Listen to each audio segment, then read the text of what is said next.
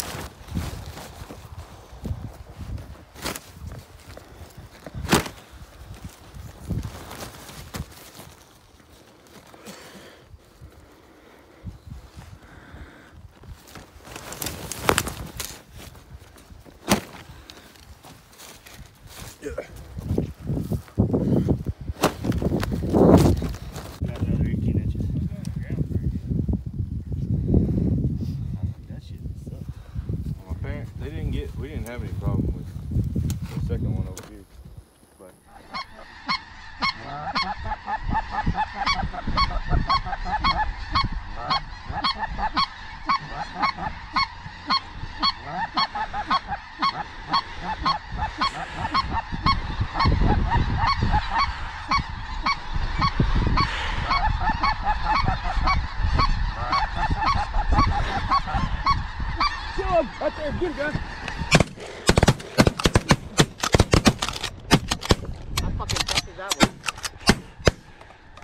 Holy shit. Got him! Holy!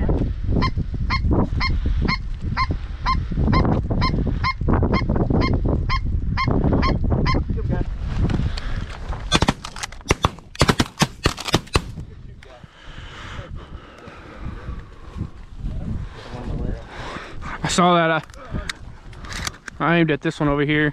I, I aimed far left. Again, everyone probably did, so. No, I ain't far right. I ain't far right.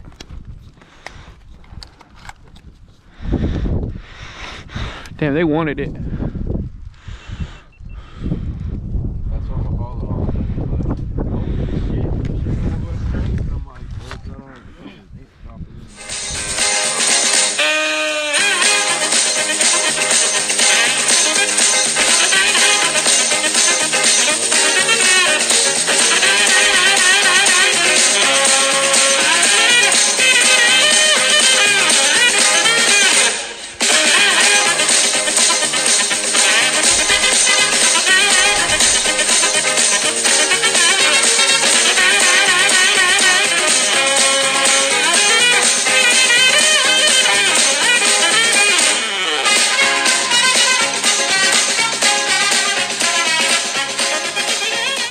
Fishing fools? Alright, so we're going to make a goose burger. Um, not really showing my face, I'm just trying to get this started because I got a big process here. Here's the geese, big old breast. So what we're gonna do now, we're gonna take our knife and we're gonna strip it out. Just cut strips in it. Right now, what you're looking for, you're looking for a wound, um, um, wound cavities, like you see there. Trying to make sure there's no um, feathers, etc. You want to make sure there's no bone, no feathers, and just want to cut it, make sure everything's pulled apart perfectly. Like that a, that's where BB hit right there. And we're gonna do that on all these, this whole entire thing. Um, we're then we're gonna mix it. We're gonna we got the meat grinder, so we're gonna grind all this up with some fat, some pork fat, and this is the seasoning we're gonna use. Fiesta Wild Game and then the Fiesta Hamburger Deluxe. Just I love the Fiesta seasonings. So um, just gonna literally each one we're just gonna run through. Looking for BB, looking for pellet. I mean, we were shooting two shot and BB, depending on others. If there were seven of us, we shot 30 birds total, as y'all saw. that first volley that came in, we dropped 20 birds, so that was a good one. So, so I'm just making sure there's no feathers, no bone. I'm gonna do that on all these pieces. I'm gonna time lapse this, so you only gotta watch me do everything slow, piece by piece. But I'm, I'm gonna take care of that and get with y'all whenever I finished.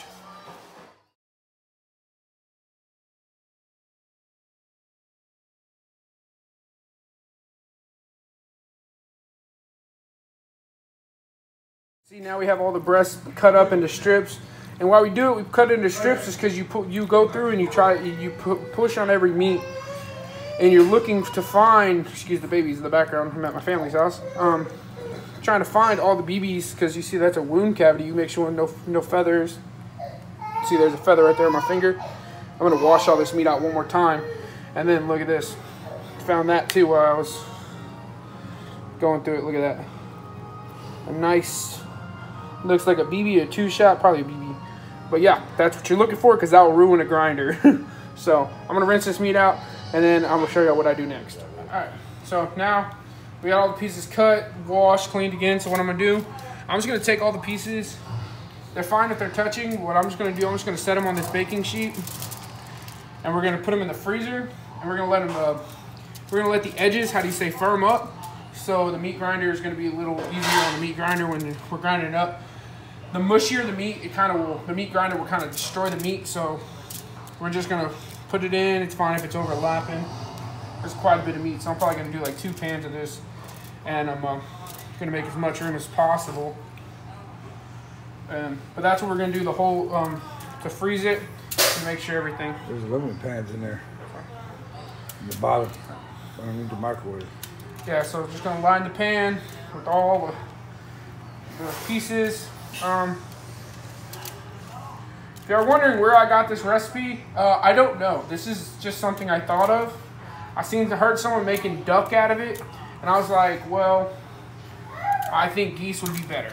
So these are all snows and one Ross goose in here. Um, we did shoot a couple blues, but they were mixed. Um, I ate those already. I tried a different recipe on those for a future video. But um, yeah, we're just gonna line all this, firm everything up. It's literally, doesn't have to look pretty, doesn't have to look perfect. It's literally just so I can get the meat firm. So I'm gonna go ahead and line the second pan, put these in the deep freezer, let them firm up a little bit, and then we'll get to the grinding. All right, so right now what we're doing, we're taking, we're gonna take this bacon, and this is um, some thick cut. You see it has a lot of fat and just a little bit of meat. We're really only using it for the fat, so what I did, I stuck it in the freezer for a little bit to let it firm up so it's easier for the grinder. I also put all my grinding components in the freezer. Everything's cold, I just let them sit in there for about 35 minutes so they kind of, it's easier to grind all the meat. If you'll hear little gremlins and footsteps in the background, that's my nieces and nephews. They're running amok, but this is gonna be their first time trying something that I actually make, so this I'm excited for that. So I'm gonna turn on the grinder, we're gonna get this going. All right, you from that now.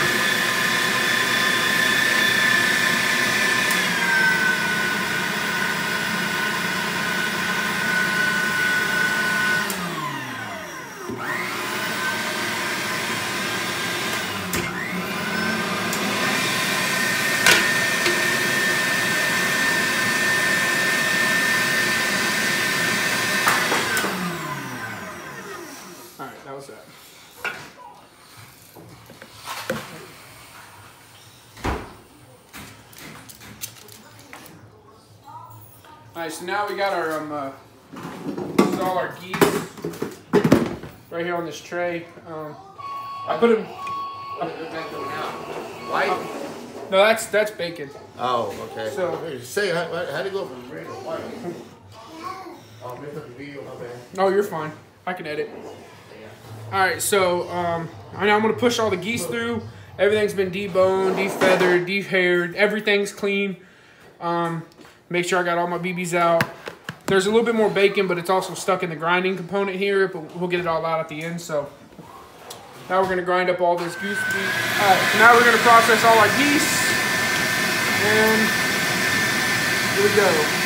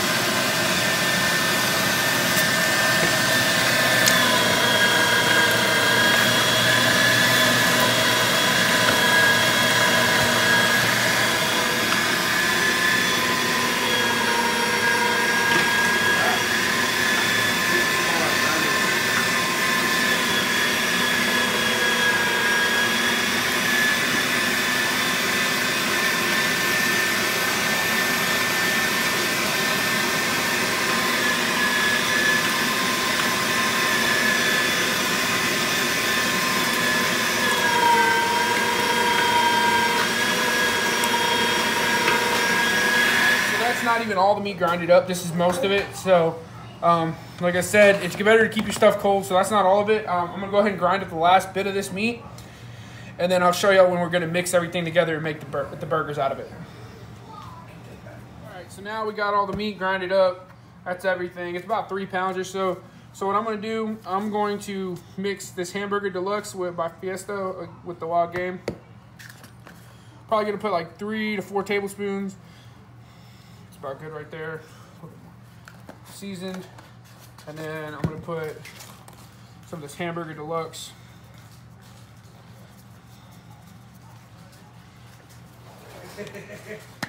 And now we're gonna mix all the meat up, incorporate the bacon. it got some it got some spice with it. We're gonna mix all the meat up, incorporate the bacon thoroughly through all the meat. You see that nice fat right there? That's what we wanted earlier. And I'm gonna mix all this meat up for a minute, and then we're gonna start making our patties here in a minute. So I'll catch our guys when we're forming the patties, but it's pretty much the easy process. All right, guys, now we finished these goosey burgers. I still have some meat left, so we're gonna have to do a second batch, but this is what we got for the first time. I got a couple taste testers here, but I think these are gonna come out really well. So um, we're gonna put these guys to firm up a little bit, but I'm ready to try. Skillet heating up now. We're gonna do a flat iron Blackstone skillet. And we're gonna make these patties look delicious. So I'll get y'all guys as now on the flat iron.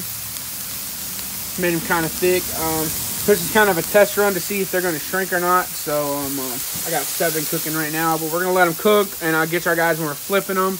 Um, they, they smell amazing right now, might I just add. But get ready. Here they are, flipped guys. Yeah, I got some better lighting right there, but yeah. Woo, beautiful burgers. I'm gonna let them cook for probably like four or five more minutes. They're probably gonna do like six to seven minutes on each side, and I'm um, that should be good. I'm gonna cut one open here in a minute and see how they look. But I just flipped them like two minutes ago, so I'm gonna let them continue cook, and then I'll let you guys see the finished product. Uh, y'all can see I cut one open. That thing is perfectly cooked. Got zero juicy meat. I'm gonna go ahead and pull the bigger ones and about to pull these smaller ones, and I'll get y'all guys when we're plating. All right, guys. So we're gonna add the Dijon mustard.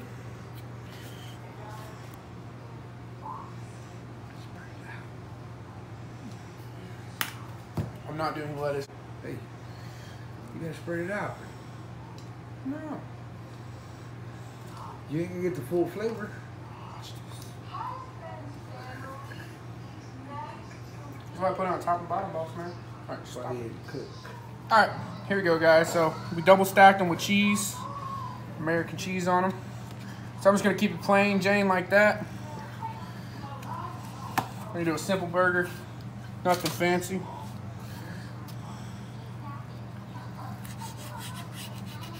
I'm gonna try doing a cut.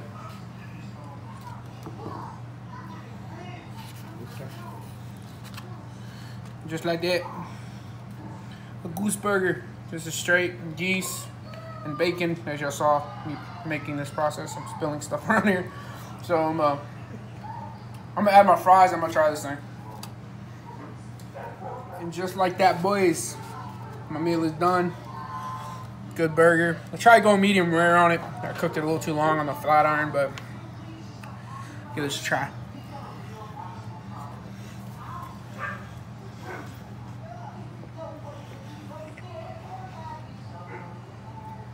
All right, really good. Do recommend to try. Thing I do wish I did. Double grind my meat and add more seasoning because it really had um, really needed some more seasoning to kind of pull out some of the gamey taste if you were trying to like trick somebody into trying this. But really good food. I put it on Hawaiian Hawaiian bun because I forgot to mention that. But that's the video, guys, and I'm uh, gonna take off to the outro. Hey, what's up, Fisher Fools? I'm literally standing in the middle of the parking lot, heading into work. If you don't know where I work, I work at Academy. Yes, I do. Um, hope y'all guys enjoyed that video. It was a lot of fun to film. Um, like I said about the recipe, try it. I would recommend more seasoning, more bacon fat, and grind it up one more time. But other than that, it was a good recipe. I'm gonna try it again later. Um, I got one more hunt coming up for snow goose season, a conservation season coming up next month. But um, the reason I ain't really been filming is because I've been working a lot on learning how to film duck hunting videos and waterfowl hunting videos than anything else. So um, season ends tomorrow. Um, I'm closing it up early. I'm dragging up early. Um, so um, good luck to everybody who's going out in the morning. And um, um, I'll catch all y'all guys on the next episode of Fat Man's Fishing. Fishing videos coming soon. So I'll catch all y'all.